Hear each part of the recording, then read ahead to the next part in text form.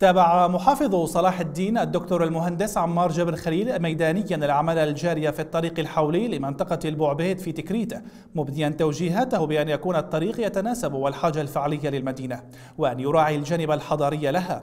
وشدد محافظ صلاح الدين خلال جولته التي رافقها في قائد الشرطة اللواء قنديل خليل محمد على الاهتمام بالمساحات الخضراء على جوانب الطريق بالشكل الذي يعطيها منظرا جماليا أكثر ويحافظ على البيئة في تكريت.